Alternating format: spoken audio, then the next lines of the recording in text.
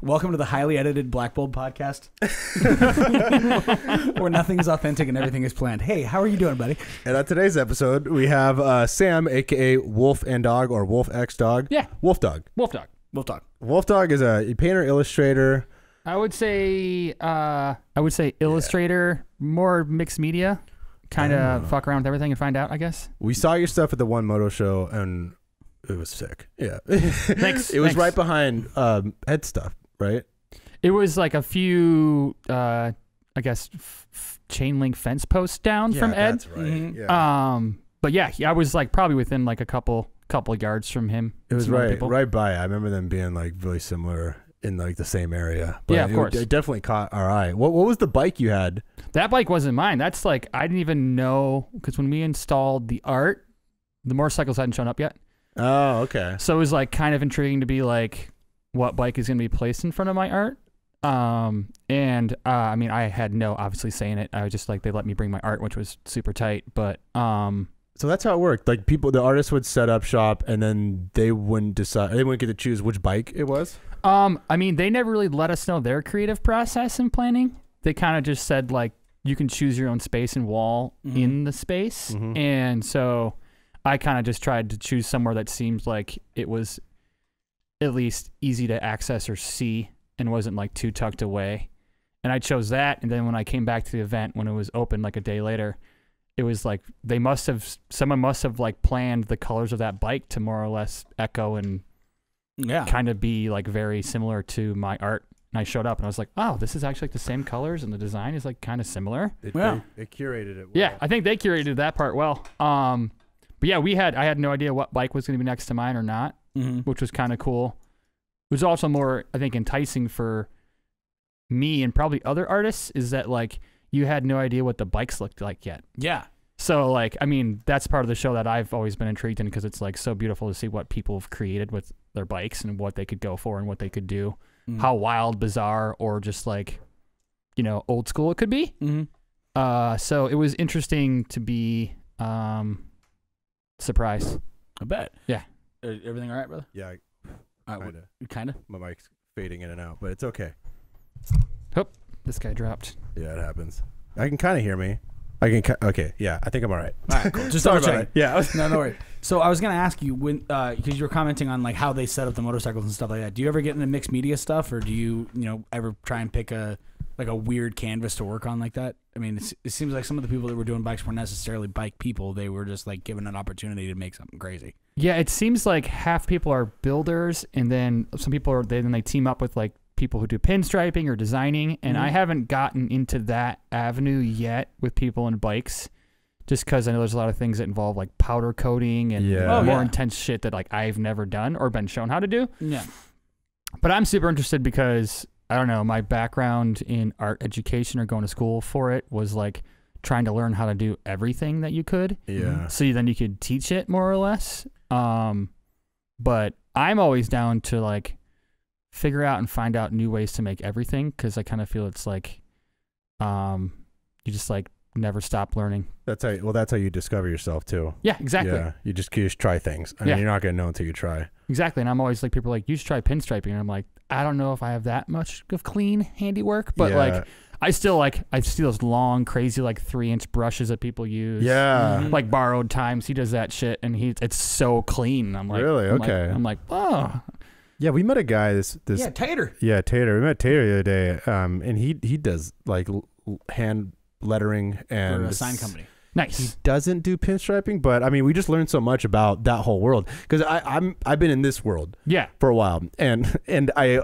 also, to my knowledge, had no idea that the paints were completely different. He Mhm. was like saying stuff I'm like I don't even know what the hell that is. You're like, like one shot? What the fuck is one shot? Like Yeah. someone was telling me That's, about it, painting my truck. exactly what he said. That's funny. Yeah, I was asking. We're like, ooh. I was asking dentist, and I was like, "Hey, what'd you use to paint on your bike?" And he was like telling me what he used, and I was like, "I never even heard of that paint." And he's like, "Yeah, that's like moto paint." And I was like, "Okay." Yeah. So this summer, when I work on my little Datsun truck that I've been trying to fix up, I'm gonna paint all the little weird race stripes and numbers Nice. on my truck and get weird with it. So I think this summer will be my first attempt at using, like, I guess moto paint. I guess more else would say. I Yeah. want to learn. No, I bet. Oh, yeah, Oh, dude. yeah. We need to do that immediately. Yeah. Well, did you ever feel like sometimes when you get taught a new technique or step into a new medium that the fact that it's new kind of acts as a source of inspiration because you're both learning the technique as well as experimenting with it? Absolutely. You know what I mean? I feel like that can be a great way to break any kind of like ruts people learn, but also just kind of keep yourself fresh. Yeah, absolutely. It keeps you fresh. Also, like I love challenges. Mm-hmm. Like I love problem solving. Not to the point that I'm like really good at problem solving, but I like creative problem solving. Mm-hmm. I'm like, how could I make this look like this, or how can I mix these paints and these colors so it works? And then you learn like more more things and more techniques come kind of more fluent the more you fuck around, I guess. Yeah. Mm-hmm. And so I'm always down to try something because I'm like, who knows? Like this might not be an avenue I want to follow, but this I can utilize this skill or this material to do like this type of art, painting, etc. Like I recently started to use house paint instead of other paint Mm-hmm. because I like scored a bunch of free paint from a paint store that they were going to toss out. And I was like, well, I'll take these browns, these sky blues, these reds. I was like, Mhm. I'll use them for murals or something. And then I brought it home and was just kind of playing around in the garage. And I was like, this is just like really fluid acrylic paint. And then I started using more of it. And I was like, you just got to layer it once or twice and it kind of works.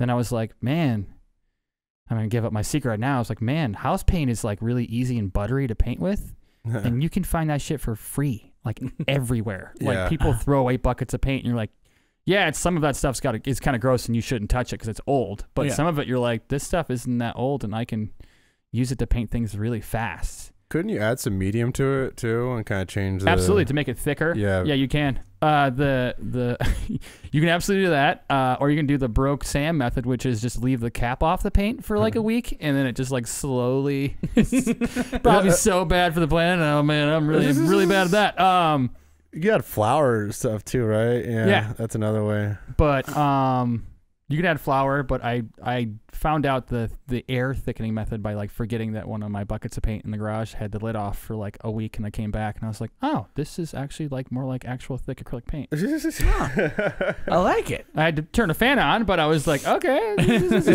I'm inspired by paint fumes. um, but yeah no i'm always down to try new things because there's the curiosity and then as you asked there's like the um, inspiration of like trying something new and seeing what it's like and um, yeah it's kind of like never ending you're like all right well what's this like well i'll try this and if you realize that you don't like it and you're like all right no fuck that and you give those paints to somebody who know will use them Yeah. you know, or you free pile them. I usually try to like reach out on Instagram and see if anybody wants the paint that I tried that I didn't like. Like when I dabbled with airbrush and I was like, I don't really, I'm not into this now. And I just like gave someone a free gun in the Mhm. little Wow. the machine. How was like- generous of you. I was like 10 years ago and I was like in college and I knew some dude that did it. And I was like, Do you want another machine? He was like, Yeah, sure. I mean, I hadn't cleaned it the last time I used it. So the guy was like, Yeah, I'm going to have to like hardcore clean this machine. I was- Yeah. I was like, Sorry. He was like, Yeah, we weren't into it. But I mean, I kind of feel like if there's something that you're not into or you try and it doesn't work out, there's like somebody who will at least try it after you Mm-hmm. or utilize the same materials that you have and versus like hoarding it in a box in your closet and never using it again. It's like I'm sure there's somebody out there that will utilize it. Mm-hmm. What would you let's let's kind of talk about like your creative process as a whole because I mean you brought you brought this piece which is which is gorgeous. You obviously have a ton of traditional skill which makes sense why you're um you say you were kind of learning to be a instructor Yeah, I- teach it. uh, yeah, I went to school in Colorado to be a K-12 art teacher yeah. Yeah. and I graduated with that and a minor in lithography and printmaking. lithography. wow. Yeah. Man, that's that's cool. Yeah. What the world of printmaking is it's just so different, and you you can get so much like finer lines and unique lines that you can't get from a Yeah. brush or a pencil or anything. Absolutely. And the lithography was when I went to uh, get my art education degree, they're like, you got to choose something to, you know, more or less be your concentration. That's the word I was looking for. Yeah. Concentration. And um, I was like, well, I could do painting, I could do sculpture, you could do, you could shoot ceramics, whatever they had offered. But I've been drawing and painting since I was a little kid Mm-hmm. and I had already started to like kind of develop uh, a style with using acrylic and spray paint and kind of street art. And I kind of was like, well, why spend more money learning something you've already started to naturally figure out? Why not try something that sounds challenging? So I went with pr- printmaking because it's like labor intensive, Mm-hmm. and also I'd never done it before, Yeah. and so there was definitely like a year or two of like extreme frustration Oh, I bet. because I like just drawing and something's done. You know, Yeah. like something fast, quick, you can knock it out. Versus like shit with lithography, you have to like etch the stone, grind the stone, then you have to like ink up the plates, then you have to ink up the stone, then you have to put it through the press, and it's like this whole laborious process, and then your prints have to dry. And I was like trying to more or less teach myself patience through lithography. But every kind of artwork requires a certain level of patience. Mm-hmm. You know, I mean, maybe like the fastest, and maybe this is why most people do it, but like taking photos on a phone, that's the easiest and quickest form of artwork for Yeah, people. And I absolutely. think that's why so many people are obsessed over it because they think they're being artistic. Well, I mean, you can be artistic with a camera phone, Mm. um, but it's like it's the most one and done kind of thing you could do. Absolutely. Well, Yeah. they talk about like the barrier to being like to enjoyment, right? So when you're a kid, you've never done anything, you take a crayon and you draw a circle, like you are pleased with that because you have no frame of reference. True. You know what yeah. I mean? So like Yeah. it's it's it's very satisfying when you're little to do stuff because you're constantly impressed by your improvement. Yeah, if you you're like, whoa. picking something up as an adult, having seen the amount of visual art that we've all seen, even if we're not like super into it, it's really discouraging to be like, well, this is the shit that I made. Versus if you go on your phone, you have the pre-made filter and this, that, and that. I mean, it's it's a like you said, it's the barrier to like getting something satisfying. Mhm. So ultimately, probably not as rewarding because the labor is kind of what makes you feel like you did something to earn it. yeah. But you know, I think that's that's probably kind of a lost thing right now because Yeah. that that instant gratification is pretty is pretty like seductive. Mhm. Yeah, it's it's instant. But there's also the funny thing is the people who dabble in the filter art of Instagram. Um, they get instant gratification, but they're like, that's what I look like, you know, versus Mm. like people who paint and draw. You're like, I really wanted to draw an oak tree. That shit looks like a pine tree. You're like, ah, I got to figure out how to make it look like an oak tree, not a pine tree. First, so like there's, you know, there's equal gratification to some extent if you can get it to look like what you wanted to. But maybe people who do filter photo art on their phones are probably happier with their creative process because there's less questioning because it's like this is a fucking tree this kind of looks like a tree with a drawing so it's like you know maybe there's like some some fun thing that i haven't figured out yet with filters on instagram but I, I really like your art. Let's not. I feel like when people terrible. He's gonna give up on this badass art he's making. Oh, to absolutely. be- to be on absolutely not absolutely not And they're gonna be like, "Joe, we blame you." God damn it. Um. So yeah, where where do you start with the piece? Yeah. so with my whole process i guess yeah. After Instagram. After Um, Instagram. after looking at all those beautiful photos, filtered photos of people and things. Um, I think a huge part of my process for a long time it was like a lot of I want to figure out how to draw that. You know, Mhm. being like, um, I want to figure out how to draw people so it looks like them enough that people can recognize them. And then I started being like, well, that got kind of boring. And I was like, I just wanted to challenge myself with like drawing random things, you know, like just drawing practices. Like, even though I think still lifes are so stupid and so boring, they still teach you technique very quickly, um, more or less. But for me, it started to becoming like, what am I inspired by?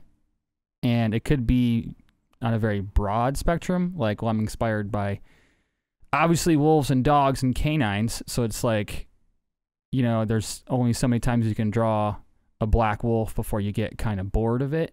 Mm. And then I'm like, well, that's cool. You're kind of mastering a wolf. Well, have you drawn a coyote in the last like two years? And I'd be like, oh no, I haven't. No, I haven't drawn a coyote. I just tried drawing a coyote. So there's like a lot of questioning about like what have I done and what I want to learn how to draw. So that's a huge part of my process is like trying to figure out what I haven't drawn yet or painted yet. And then I have once I feel more comfortable with a certain animal shape or I guess thing, um, then I'm like, well, how can I play with it? How can I make it fun? How can I make it more weird and abstract and taken apart and re-put back together in my own style?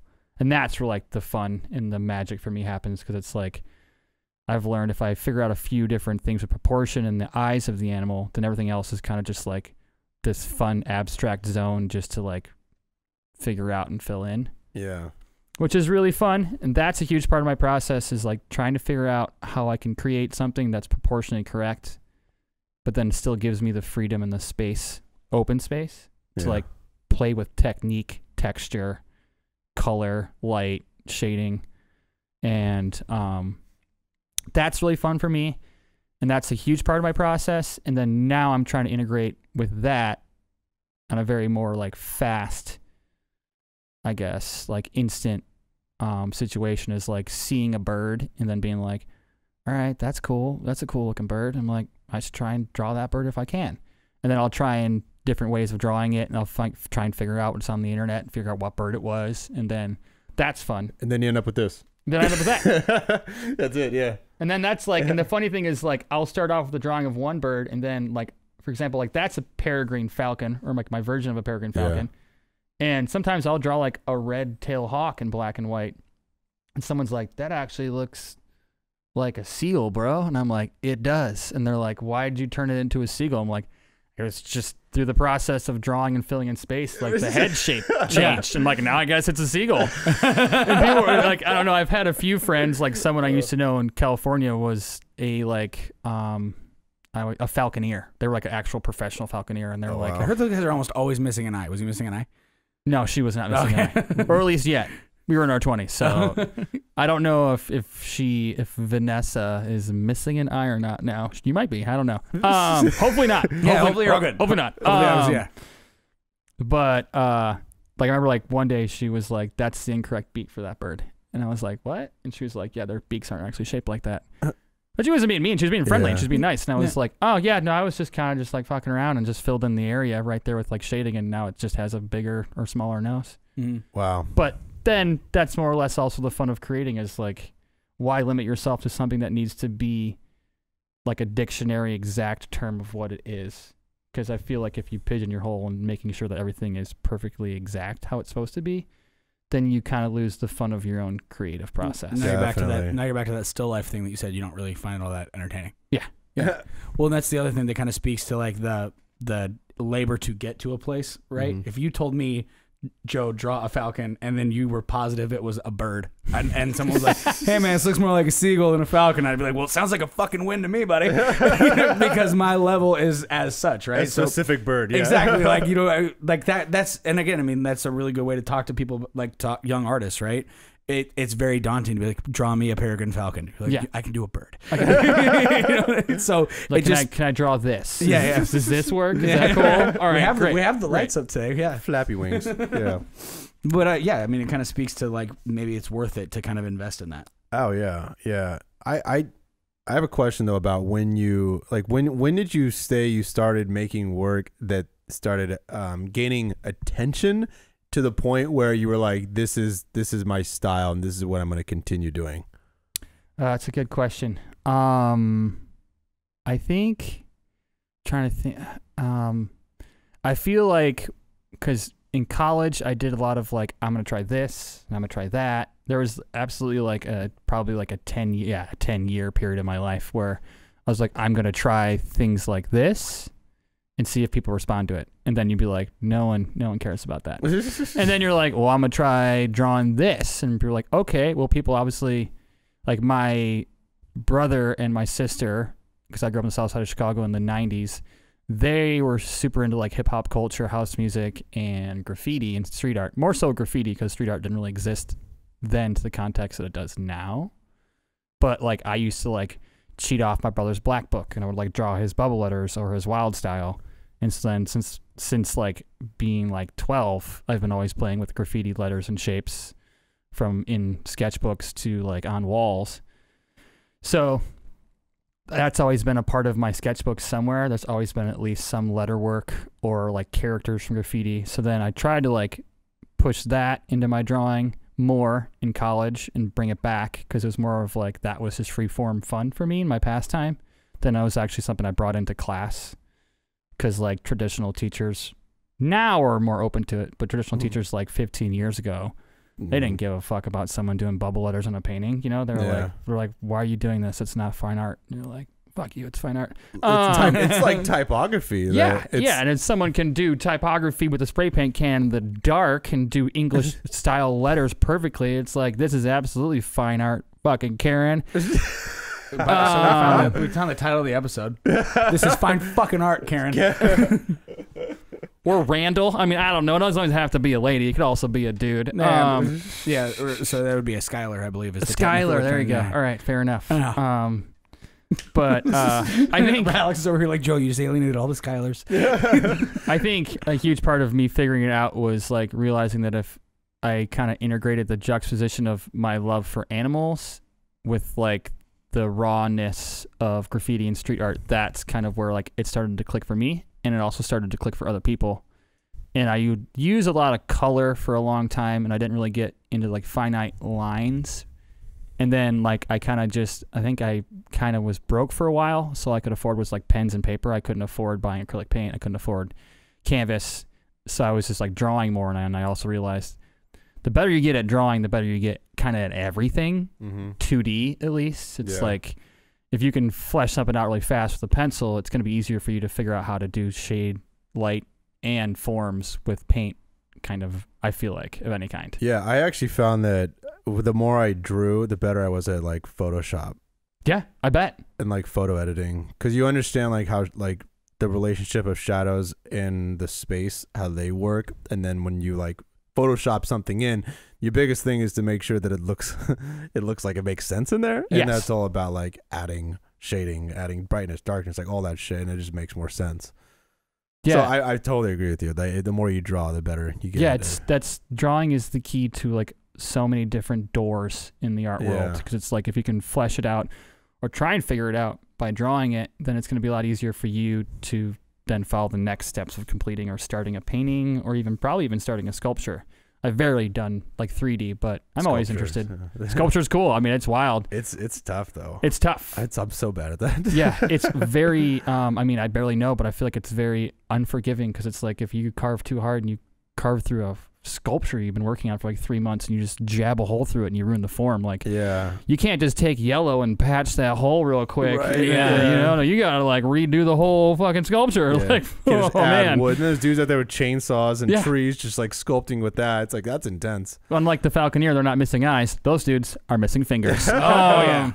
Limbs, man. limbs or, or, or, or leg. I don't know. Um, but I think, yeah, I mean, I think I kind of lost myself there, but that happens. Um, but Yeah. I feel like, oh, so I, to go back, I feel like what I realized was more successful was that I could utilize just black and white drawings to integrate like the textures and also the styles of street art and graffiti graffiti more so into animals.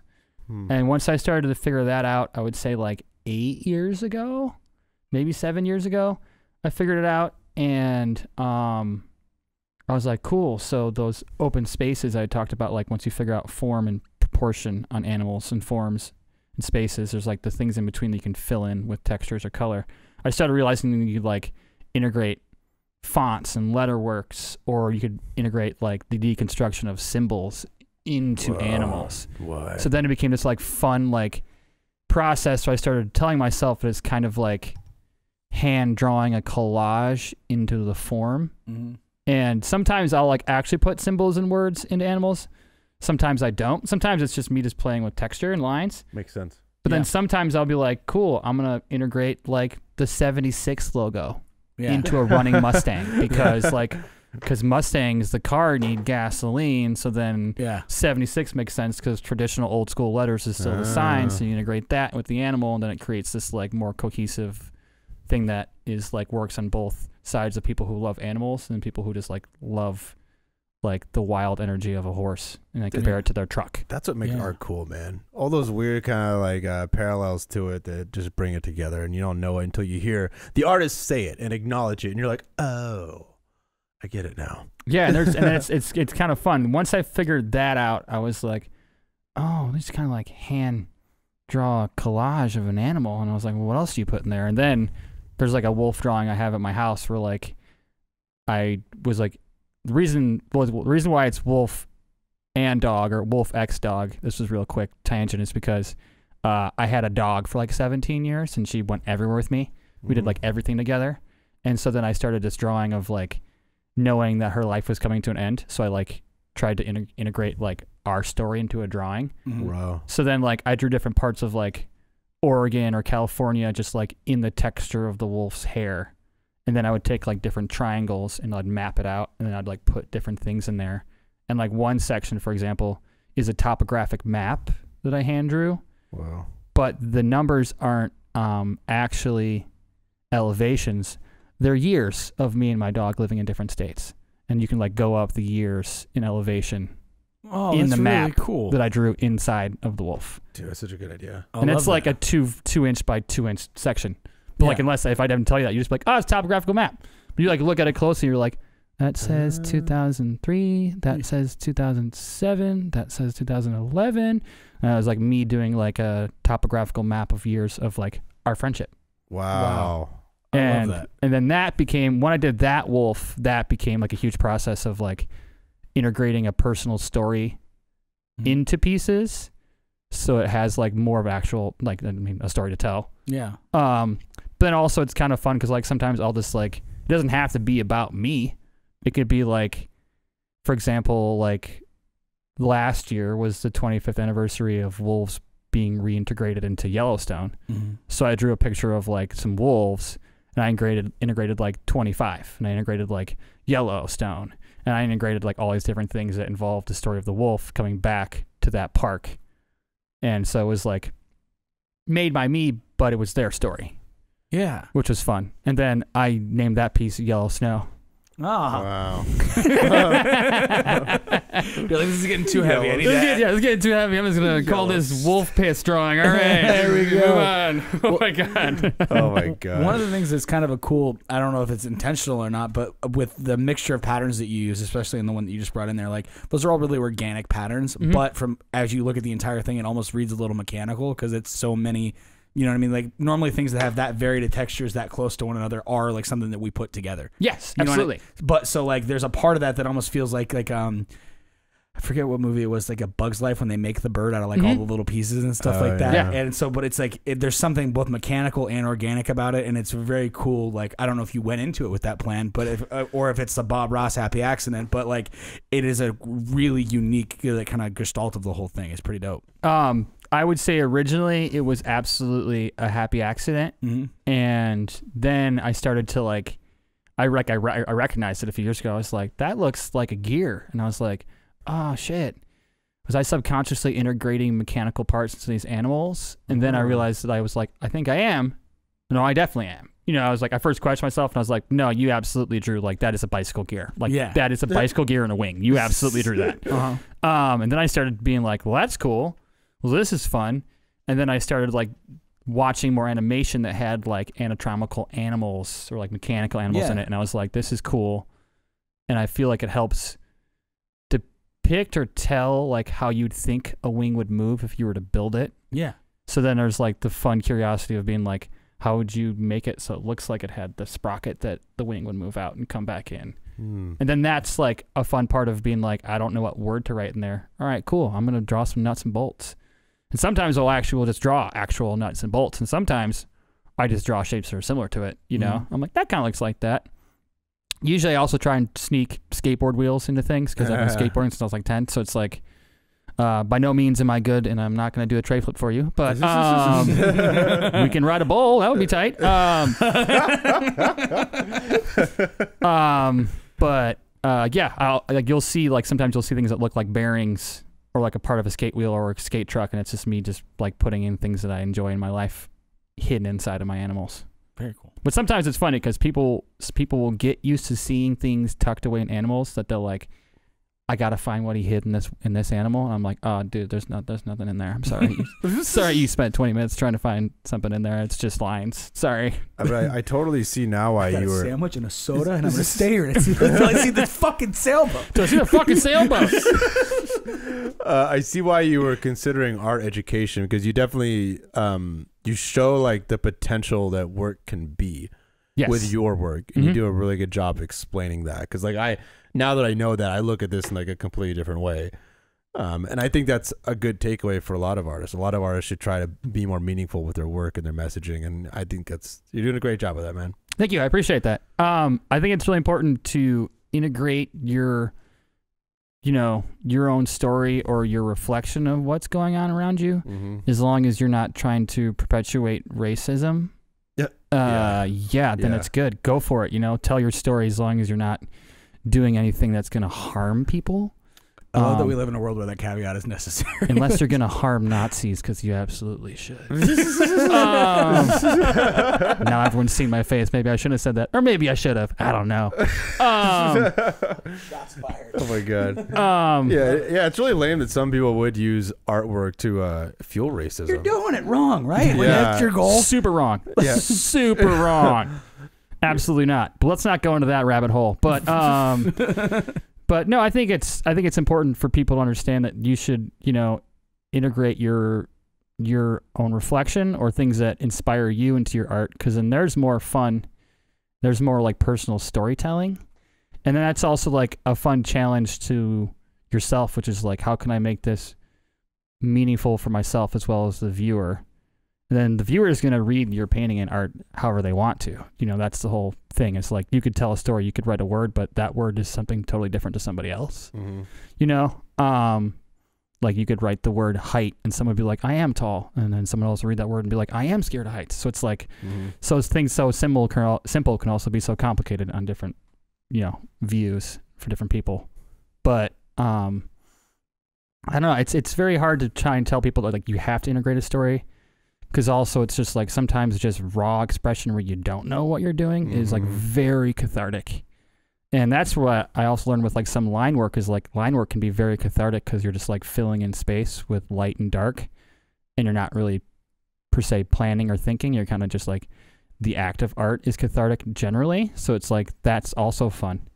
And I try and I try to break away from the things that I normally do to do something that can be like ex- completely cathartic, and I don't know what the hell it is. hmm Like painting backgrounds is usually cathartic for me because there's no real plan. It's just like I'm gonna use gray and pink and see what happens Yeah, I mean, then it's- then you fill it in and you're like that's cool and then i started doing these things recently these like dirty rainbows where i just like was using random house paint that i found and then old cans of spray paint and i was just doing these like big drippy sloppy rainbows on backgrounds and it was just like i was having a hard time. We were all stuck at home for the last year. I wasn't able to see my friends. I wasn't able to do art walks. I wasn't able to like experience other people because i'm obviously an extrovert. So it's like i just started doing those because it was like funny. Mhm. it was like fun. And then i was also like this is kind of it's not stupid but i was like this is so easy. I don't have to think about it. Yeah. What's and- a what's an art walk? an art walk? Yeah. an art walk is like for example like usually in the pre-covid times um i wouldn't say normal i wouldn't say pre-covid um like art walks for example in portland um usually the first thursday art walk it would be like 6 to 9 p.m all of the galleries in northwest portland would open their doors and they would serve like snacks and complimentary beverages non-alcoholic and alcoholic and the whole point of the art walk was like for people just to be out and about in the city and like experiencing art Wait, is it, is it like first Thursday stuff or is it like Yeah, different? first Thursday. Oh, it's just for, okay, okay. this is first thursday Yeah, yeah. um but like i that's like for a long time in different states i've lived in i've always just loved art walks because it's like there's no like you don't have to make a donation if you're broke to see art you don't have to pay to be in a gallery to see art or a museum you just get to like show up and see it and then you get to like talk to random strangers about art that you're looking at on the wall together which is kind of fun because you have like a snap two minute conversation with a stranger you're probably never going to see again Yeah. you're like, what do you think about this painting? You're like, it sucks. And you're like, you suck. And you're like, all right, cool. And you walk away. Ah. or you have a really detailed, cool conversation about the color blue. You know, Yeah, like yeah. whatever. But it's like I just that's for a long time. I feel that art walks were like my favorite day to have off, and my favorite day to like go do art and experience people and culture because it was like yeah. you get to see so many different images so quickly. You're like trying to download the content with your own brain, and then you go home and you're like, whoa, what do I what do I paint now? Yeah. Like, I don't know. Very. It's, I ate it a is- lot of wine and cheese and crackers. I should probably go to sleep, but I, I want to make something now. You know, like I don't know. it's always inspirational. Mm-hmm. It did bug me though when it, when you started seeing like the party scene merge into it. Yes. That was annoying. Yeah, I feel like it's it was it's kind of fun if there's like if there's obviously free alcohol. Alcohol is the catalyst of getting people to buy art a lot of Mhm. the time. So, which is sad to say, um, but also is necessary. I mean, it's everyone knows it most for the most part, but um, it's like it would. So many of the art walks I've been to are so fun, but then suddenly it's like the art walk ends, and you see like people are more or less like alcohol zombies at the end of the night, leaving these galleries, versus like people leaving with art in their hands or like a new T-shirt. You know, they're Mhm. kind of just like faded. Yeah. But it's also cool because the people who are there actually for the art are going to remember it and they're going to come back. You know, they're or they're going to take someone's Instagram handle or their business card or Mm-hmm. their stickers and they're going to go home and they're going to follow that person and then that could lead to either a connection, a friendship, or someone supporting an artist down the road. It's funny that you talk about the relationship to art and alcohol because, like, if you talk to a stand-up comic, they'll always tell you the most difficult show of the week is Friday Night Late Show Oh, I'm sure. because, like, Friday early, like people got off work and they're, people drink different when they've been worked the same day. Saturday, you've already been off. You maybe slept in a little, had a coffee. Like, you don't drink like your life depends on it. Mm. So like by the time the first show ends, like they're starting to get a little bit rowdy, and the people that showed up for the next show have been sitting in the bar waiting for 45 minutes because it always goes late, and they've been like, "Well, this doesn't count against your two drink minimum." And then you know, I I, I do a lot of rowdy comedy clubs, so maybe this isn't like that at all of them. But then you get to Friday night late, and people are just slaughtered, and you're like, "Oh, there's a there's a difference." Like I'm managing you now as opposed to expressing some kind of art to you, Mm-hmm. you know. And I I don't know how often people talk about their dicks in art galleries, so maybe it's a little different with stand up comedy. That's like You never know. yeah, you never know. You never know. Yeah, but no, for real, like that that is kind of the the actual pragmatism of like how are we gonna like make this thing a business? Like alcohol does come into it. Yeah. Yeah. Absolutely. The the one thing that I've always been scared of is like not scared, but you're like at a, you're at a, an art walk or like first Thursday, and you realize that like you're like okay now we're, we're past the point of no return for most of this crowd this crowd, and you're like just don't just don't lean into my painting, just don't don't touch the art, just don't, Don't spill touch the painting. People are like that's cool, I'm gonna touch that red. You're like don't touch the painting. Yeah. People are like why not? It's in a gallery, we can it. touch it, right? And you're they like, can't resist Yeah. the urge. like, I just got just got touch. I just want to Like, feel no, it. No, no. Why? Why? Oh, But there's also the same people who pet people's dogs without asking, and then they get bitten. You know, I mean, there's, you know, I mean, but I feel like you would kindly let someone know not to pet your painting. yeah, Yeah. yeah, Can I pet your painting? No. no, It's a service painting. Don't touch them. It's a service painting. That's, that should totally be the sign, though. Don't please don't pet the paintings. I like please that. don't pet the paintings.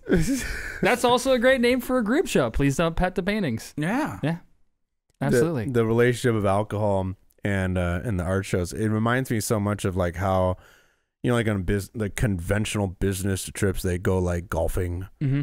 They get like wasted. They get wasted. Why do you It's- always undermine my portion of the business, Alex? No, I you you don't go on golf trips with any of our clients, but like, but that's such a normal thing. They go on like this four hour like golf bender, Yeah. you know, and they get totally hammered, and then they become best friends by the end of it, and then they sign a piece of paper. They sign a piece of paper, and they're like, I actually don't remember any of that conversation. Yeah, yeah. But you were pretty convincing in getting me to shotgun a Coors Light on the ninth hole, so I will absolutely sign this piece of paper.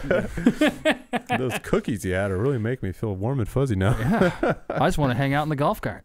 I'm gonna get us. I'm gonna get Callaway to sponsor this now. Just Oh to, my just God. To, just make That would- mad. Black Bulb Podcast brought to you by Callaway Golf. So not the market. I know that would, that, yeah, that would suck so bad. yeah. No. So uh, let's talk about let's talk about social media, just because it's a hot topic. Yeah, absolutely. Um, what what would you say is your favorite thing about social media? What is your least favorite thing about social media? Um, I would say my favorite thing about social media is the quick access to information. Mm-hmm. Um, which you know, as we all learned, is not necessarily always correct information. But I Yeah. think my favorite part of social media is the how quickly you can be informed. If that's from news to local to even like, you know, creative things like open art calls. You know, like like I didn't even know this was happening. These people are doing an open art call for a mural. Like that's really cool. Or like just yeah, I would say the the quickness to information and the access to art itself because you can like go down a rabbit hole of looking at someone's art that you didn't know and then suddenly you're like looking at the art scene in like St. Petersburg, Russia and you're like, "Whoa, I didn't even know this like style of painting existed." And it's cuz you went down a hashtag rabbit hole on Instagram mm-hmm. because of one painter's style. Yeah. I think that's probably my favorite part of social media is that you can find and see things so easily. And for people that are either like it's not possible to travel or not possible to even get outside the city to see something um, to find inspiration from, you can find inspiration from the things in your phone. Yeah. You're like, whoa, I didn't know, I never heard of a red panda before. Like Mm. these things are dope, you know. and then you're like, you're like, I want to draw a red panda. Yeah. Um, I want to pet a red panda. Can I pet the red panda? the service panda. I would absolutely be down to be bitten by a red panda just so I could find it. But yeah, I mean, that's that's just me. Yeah, But um, Can you get a service panda? I don't Start prob- business. probably not. We should start a business that gives you them quickly. We'll call it Panda Express. Panda Oh. Express. Oh God. Oh oh God. I couldn't, Um, resist, I couldn't resist that. I was that was that was pretty easy. That was that was lined that was lined up.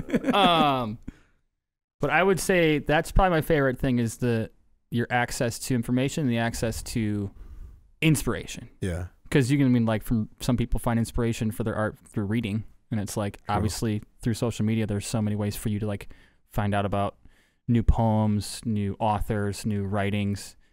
Um, so it's kind of like a black ho- black hole of um, possible inspiration because you Mhm. might not find inspiration, but you could.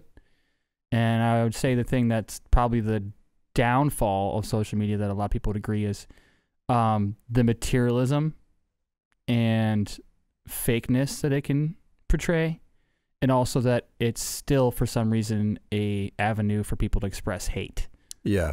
Yeah. And I would say super that- unfortunate. I would say Yeah. that the the three number one things that I hate about social media is like materialism, and then the comparison anxiety you get from it, Yeah.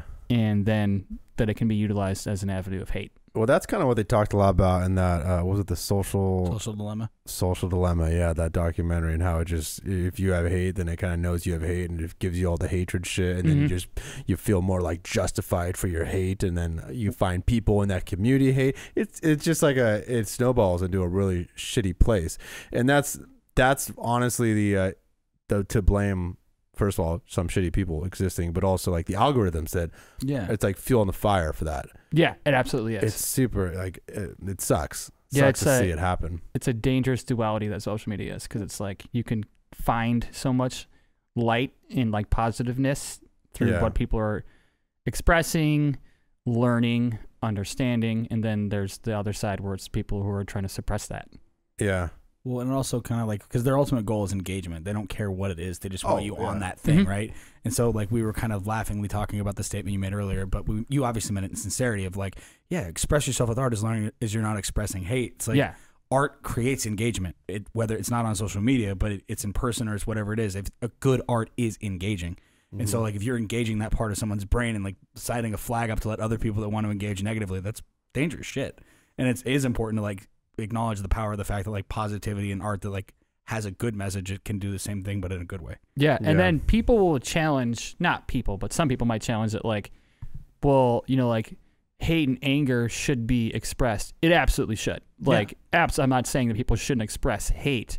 I'm saying people shouldn't express like, you know, hate, like intense hate upon other people, but like expressing the dark side of yourself is can be just as positive as just expressing the light side of yourself. Yeah, catharsis is real. Yeah, a hundred percent. So Yeah. it's like you. There's a weird line where you try and explain the difference between two different kinds of hate, and one needs to be expressed and one doesn't. And people are like, "Well, it's the same thing," and you're like, mm, "Not really." Mhm. If you're like hating another group of people and you're trying to express it through art, then I, I'm not absolutely into that at all. I'm not. But if you're expressing the fact that you like may battle with self hate and that art is the vehicle for you to express that, which then makes you happier, go for it. Like Mhm. that's just as important as expressing that you like are happy, you Yeah. know. Um but all of that it can be gray and muddy and you never really you never really know if what some pers- person's really trying to express until you hear it from their mouth. And everything I said was probably just confusing right now, and I'm sorry. But I think that's part of the appeal of it, though. I mean, Yeah. if, if art was so on the nose, I mean, people would stick with picture books. Yeah. You know what I mean? Like, it's like there's intent, nuance. How did you do it? You know what I Mhm. mean? It's easy for us to come in here and be like, okay, let's talk about like the actual process. You know, what paint do you use? This is like the example which we started with. But then you get into why people do it, and that's Mhm. I think that's where the really interesting part of art comes from. Like, yeah. as someone that was very, very like lightly involved in art before I started doing the show with you, you know, cut to two years later, and I'm fascinated by this shit. and like, I think that's fun for people to hear. yeah. Yeah. Do you do mostly Instagram? Yeah. Um, I had Facebook and I started to put my art on it and then I Uh, I a few years ago I just had to get off because I was just like too tangled in in comparison anxiety with other people. Be- Bullshit. It's Yeah, just so much bullshit. bullshit. on there. I was just like tired of being like I don't really care what this person from seventh grade feels about like Yeah. the fact that I like live in a van with my dog and work on a pot farm. Like I don't care that you don't think this is a righteous lifestyle. I'm like whatever. I get to go to the river tomorrow and swim with my dog. You don't. Um, but also like you know, I mean, it's just I had to leave Facebook because of the anxiety that I was uh, getting from it. That it wasn't positive. It wasn't as fun as it used to be. And so much negative energy on it. yeah, there's a lot of negative circles and loops that get stuck in on Instagram, not Instagram and Facebook. But I had to kind of more or less choose. I was like, well, if you want to s- slow down your social media use so you can experience life to more full extent, you got to eliminate one of these two.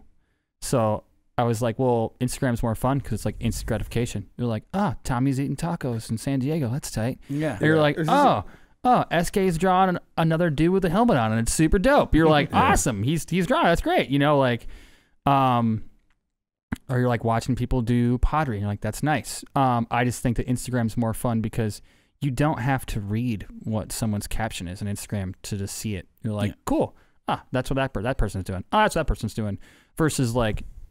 Facebook will like start off with a giant statement, and then you're like reading someone's political beliefs from fourth grade, and you're like, I don't, I haven't even hung out with you in 17 years. Like, I don't. exactly it. So that's why, I mean, a, a few years ago, so I was like, I'm just gonna go with Instagram because people are gonna see my art, and they're either gonna appreciate it or they're not, and that's fine. That's their decision, you Are know. Are there any platforms creeping up right now that you uh, keep your eye on? No, uh, not that I know of. I probably should be more engaged in other avenues for people to see my art, but I'm kind of just stuck on Instagram. I'm also like, um, like I have zero graphic design skills. Like you can ask any of the other people, or probably half the people who've been on your podcast that are my art friends. You'd probably be like, "Yeah, Sam's absolutely sent me a file to like turn into a TIFF, and he doesn't know that he could just do that with his computer." I'm like, I don't know, I don't know how to, I don't know how to do that. Yeah, yeah. They're like, the button is right there. I'm like, I don't know what button you're talking about. They're like, oh man, I do that to him still. So. Yeah. This is- makes sense. But um, yeah, I don't know. Like, what what are you talking about? Like, what are the other avenues? I'm curious. I mean, like like TikTok. TikTok exists. Yeah, I thought about doing TikTok. I'm still on the. I just need to do it because people Mhm. love process videos. Yeah. I honestly getting to know you slightly, you might consider Twitch as being an avenue for you because I feel like if you really do kind of, I don't know if you talk to yourself the way you just talked to us about how you're like where your brain's going with what textures you're doing, Yeah, but you're funny and you're engaging. Like I, I would watch a video of him and be like, I'm gonna do this because it reminds me of that like the '76 analogy with the horse thing, like explaining that in real time as you did it, like just outside looking in, like that might be something that I, I'd watch you do that. I've Or at never least- thought about that. Or at least anal, at least like talk about your print after it's done too. I mean. Twitch. I I guess there's no time constraint on Twitch. You could be on that shit for hours, and people love that stuff. But they're mostly playing games. Yeah, So it and is- some of those people make like an insane amount of money. Yeah. A lot of money. But like yeah, a lot. yeah. So, but I'm saying like you're kind of like uh because you're not not friendly, but you're definitely like you're more intense. Bob Ross would be like your your thing. You know what I mean? Yeah, Yeah. Like your That's- your show would be called Happy Little Fuck Ups. yeah, yeah. That's a great analogy for my life. Oh my god, Happy. Little Accidents. Um, yeah, no, that's see, I didn't, I have never thought about actually like expressing my process how like I have to you guys because that is more or less how my brain is talking when I'm drawing. I'm like, how can I put this in there? Well, I should put that in there. Mhm. I'm sure if I just said that, people would probably love it and be entertained by it to some extent. Um, I'll sometimes like tell people when I'm doing live feeds on Instagram when I do it, I'm like, I'm gonna do this because it looks cool, and people are like, oh, that's why you did that, and then you'll Mhm. see like nine little hearts pop up. Mhm. Yeah. So that makes sense. I mean, I I'm gonna absolutely look into that this week because right now I I recently left my full time job and now I'm trying to find a part time job so I can make more art and be more on top of responding, replying, mailing, packaging, and doing all of my like own personal art business for people. It is. It is a ton of work, man. It is, but it's like more rewarding than you know like Definitely. any other job I've done. Not that art is a job; it's a passion. But I'm gonna absolutely look into Twitch because that's smart. I'm like, I, I've thought about TikTok just because like I'll do videos and people are like, "That's cool to watch you draw. That's how you. That's how you draw." And I'm like, Yeah. "Yeah, that's how I draw." And people are like, "That's so cool, sporadic but cool." Uh-huh. But it's also like everyone loves watching like McMonsters videos. Right. The, the quick snap, His like minute viral. videos, and it Yeah. goes viral. And it's cool to watch him create a whole piece within like two minutes. You're like, Mm-hmm. whoa, this is crazy, you know? Yeah. Um, so I'm absolutely gonna have to look into to to doing Twitch for like a whole painting. Maybe like do a full drawing and then do like a whole painting and, and then just talk about it as I'm doing it That's not a bad idea, man. uh, and see see if people bite. You know, For sure. I mean, it's fun for me. You know, I've also thought about some different things that I could do that would be that would engage with like my sense of humor and one idea that I don't know if I'm going to do or not because I don't know if everyone in my life would agree that would be a good idea. But I was Probably like, a good idea. Then I'm excited. I was like, what if you hmm. did a Bob Ross like art show where you just started to slowly drink at the beginning? and so then like I mean obviously it's not something you would do every day. You probably do it like once a week, but it's kind of like, you know, drunk Bob Ross. You're like you get sponsored one night by some type of alcohol in town and then you like start a painting. You're like, this is my first beer. It's like drunk history but paintings okay, I like it. And you're like, we're gonna paint a mountain today, and then like you know, hour two of the painting, you've had like seven beers, and you're like, I fucking love trees, and then you're like, I'm gonna paint a smiley face here, and you just ruin a painting. But it's like it would be kind of That's I, the that's the title. Ruin a painting. ruin a painting. Yeah, that's great. How, Um, how are you going to ruin this painting? it's obviously not something I would want to do as a as a long term show because the things it would do to your body. But Yeah. um, I was like, I think it'd be pretty funny to Yeah. do like a couple just like drunk Bob Ross Yeah. painting painting things and then uh, put it on like cable access TV at like two o'clock in the morning because that's like when those weird things are usually on TV anyways. Yeah. and every episode ends with, "Oh man, I think I ruined this painting." Exactly. I was, you ruined another. I was such a good painting. It was I sick, I guess it ruined just it. ruined the painting. you know? Uh, do you have any thoughts about like the actual like this conversion? I I'm fascinated by exactly where you're at right now. Is that the Steven Pressfield calls it turning pro, but like uh, you know, you're man, you're trying to manage, you're trying to do this transition. You know, what parts, um, what's the learning curve that maybe you know now, having done it for a little bit, that you wish you would have told yourself like right when you first started, like starting to sell your art with frequency. Um, I would say that I've the things I've realized more recently that have taught me the more tools to success is um is start to realize like what you like creating and then what tools you need to make it easier for you to create and then start acquiring those tools before you take the dive Mm-hmm. like for example i started to with the with thankfully having a full-time job for the last several years i was able to like slowly acquire more tools Mm-hmm. yeah. and tools can be anything from like actual tools like an impact driver Mm-hmm. so if you're going to build real fast wood panel canvases versus stretching canvas because i find wood is easier and more sturdy for you to paint and lean into Mm-hmm. versus canvas can be dented and that's something that took me a few years to figure out Yeah. but it's like now I've realized it's all about tools. What tool do I need next? And it's like not chasing capitalism in terms of what can I buy next and own next. It's more Mm. like what can I acquire that will help me be able to sustain the creative process I want to more. Mm-hmm. And I think I wish I had told myself like five years ago that you should start investing in the tools that you want to use to sustain this. And um, I think in the last year, I've gotten more things that have made it more easier for me to build things from scratch. Because there's so much like recycled wood everywhere Yeah. Mhm. in the city. There's like so many construction sites that will just like throw half a sheet of like unused wood on the street. Like it's garbage, and you're like, that's a four foot by four foot canvas. And you Yeah. bring it home and you cut the bit ends off, and you make it easier to use, and then you mount it to a piece of wood, and you got a free canvas. Yeah. Um, so I think the huge thing is like acquiring the things and trying to save up and get the things you can when you can, because then it'll be easier for you to continue to create. Like I was telling um, you on the way in that I invested recently in a really nice printer, Mm-hmm. and now I'm like saving a like a substantial amount of money not having someone print my art for me. Yeah. And it's like now I can like the other day I was like joking with my girlfriend. I was like, I'm printing money, baby. Yeah. And she's like, Yeah, you are. Yeah, you are printing. I was like, Well, it's my art. These are finished drawings and paintings, and now like we have them scanned. I can like print them and I can sell them at different sizes to people in markets Yeah. or like or at shows. And so I think, I think, I think I'm answering your question correctly. No, absolutely. It's, I think could it's acquiring more tools Yeah. that can help you support yourself. That's dope. That's tangible. It's actionable. Yeah, it's think that- actionable. And I think that right a big part of that leap is that there's no there's not a lot of actionable stuff. Everyone's like, well, you got to be ready to work hard and this. It's like that, that doesn't help anybody. Acquiring the tools you need in advance when you have the ability to is great. yeah. Yeah. and lots of caffeine Lots of caffeine. or or any other source um, that's not too damaging to your body. Like people are now drinking those like new mushroom coffee like drinks that are all over Instagram. I don't know what the they are. lion's mane stuff Well, the lion's mane's great for your brain, but Yeah. like like the others, yeah, that's like the lion's mane or coffee. shroom tech. Yeah, yeah, yeah, shroom tech, all that yeah, crazy stuff that's coming out now. I mean, if you don't like coffee, that's good. That's fine. Whatever. I think having something that inspires you or gets you out of bed is extremely helpful, and that could just be hot tea, and that's fine. You know. Um. Yeah, tools, man. That's what I figured out is, is tools, and also trying to figure out what you can get for free. Dope. Because you're like, there's so many different materials out there that you could use as a canvas as long as you just figure it out.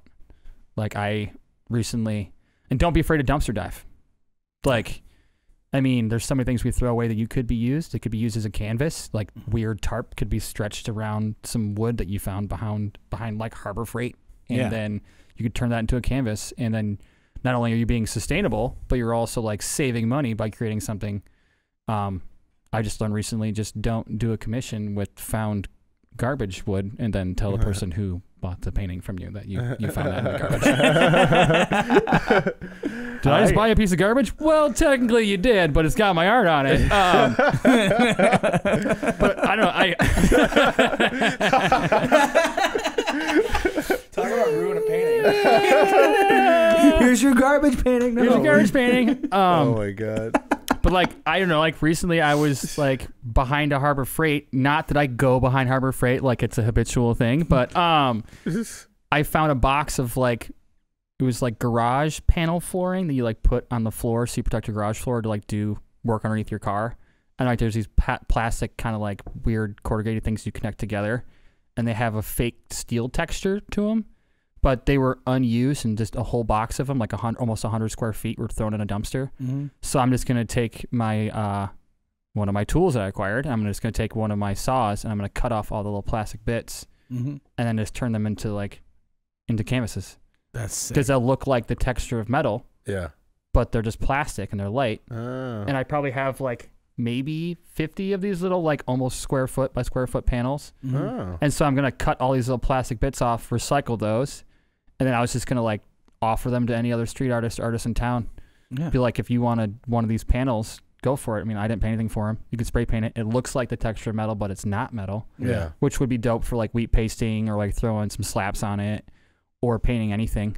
I also always like to think about things like that like well i could just save these and that's like a 50 piece group art show like not that my garage is full of garbage right now it's not there's like some stuff in there that should probably be thrown away Yeah. like any garage but um That's a cool idea though. but I was like, I brought him metal home, show, and I was show. like, I was like, dude, you Yeah. could, yeah, it was like, I could, we could use this as a group show. Yeah. And I was like, then it's like they're an awful royal blue color. Not that there's anything wrong with the color blue, but I don't like royal blue. Mm-hmm. But I was like, I'm gonna bring this home and spray paint them, and I'm gonna like wheat paste on them, and then if people don't want to do a group show with them, then I can also just put something on them, and I can like tack them up around town, and people can go find the art That's awesome. you know because i also think it's i also think it's important to like have fun with fine shit and then also if you're gonna make something out of fine found objects you also just like put it up around telephone poles around town and let someone who can't afford to buy art get a free piece of art That's really cool. because it's like not everyone has access to buy a painting Yeah. not everyone has access to even buy a print so it's like sometimes i like to hide full paintings in town and share it on instagram because i'm like some lucky fucker's gonna find like a $400 painting today That's so cool. and then people, you see people like lit on Instagram, like, I found the fucking painting, and you're like, like, like your day's made and my day's made. Great. That's beautiful, man. Uh, how can people find you? Um, you can find me on Instagram. It's just wolfxdog, W O L F X D O G. Um, that's my Instagram account, and then I also have a website, which is just wolfxdog.com. Um, I have lots of the things that I have available up on there. You also just contact me for commissions through either avenues, either the website or Instagram. Um, I usually reply to almost every single DM that's ever sent to me in both folders just because um, I like either answering questions, trying to find ways to help people. Also, if people support my art, I'm obviously stoked. Yeah. But um, also having the K 12 art education degree background, I like sharing my process with people and giving people the information if they like, how'd you do this? Like, I like telling people how I did things. Cause I'm like, I figured it out this way. Yeah. Yeah. And people are like, oh, that's really cool. Thank you. So it's like, I like answering creative questions. I'm also really good at troubleshooting. So if like people are like, I can't think of an idea for a painting, then I can like, I can easily help. Not easily. I like to help people be like, That's cool, man. Well, That's what- really yeah. cool. I was like, what do you want to do next? They're like, well, I don't know. I'm just trying to find a new theme. You know, like I, I like bullshitting with people and shooting back and forth ideas Yeah. because to me that's fun because it gets my brain working and then I can find a new inspiration as well. Hell So, yeah. That's a really, Wolfex- this that's a Wolfex really cool thing to talk to an artist that you like like that and have them help you come up with an idea. Yeah. Yeah, dude. Con- concepting. yeah, we've Yeah. had a lot of people on. I don't think anyone's ever said they do that. That's pretty cool. I like doing it because I think it's fun. Uh, bravo. Yeah, I also will comment on people's paintings like, that's cool. What if you put gold around that? They're like, I didn't think about gold. I'm like, I know, right? Isn't that a good idea? And they're like, that is a good idea. or sometimes they're like, that's a bad idea. And I'm like, it's probably a bad idea. so, uh, yeah, yeah, you know, I don't know. But um, yeah, just kidding. Uh, yeah, that's a terrible idea. but I'm always I'm always down to to shoot the shit and answer people's questions. yeah. I'm Cool. pretty open with it, you know. Hell yeah, man. I love it. Well, Dude, yeah. Follow him on all the socials. I'm sure there'll be shows happening later down the road, and you'll be at them. Absolutely, as much as possible. Awesome. Thanks again for Yeah, coming thank you, on, brother. Thanks, thanks for having me, man. guys. This Yeah, has been great. yeah. This has been fun. Hopefully, I didn't uh, ramble too much. It's a podcast, bro. That's the point. you ruined the podcast. ruined paintings, ruined podcasts. Thanks for having me. yeah. You're welcome. Bye, everyone. Thank you. Later.